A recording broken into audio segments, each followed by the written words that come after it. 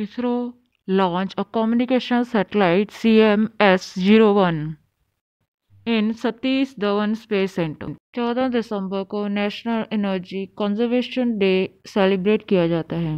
BSN ने स्काइलो take India के साथ मिलकर वर्ल्ड की ऐसी फ़र्स्ट सैटेलाइट लॉन्च की है जो कि narrow band internet of things के बेस पर है। इन इंडिया बीएसएनएल के सीईओ प्रवीण कुमार पवार और उसका हेडक्वार्टर न्यू दिल्ली है।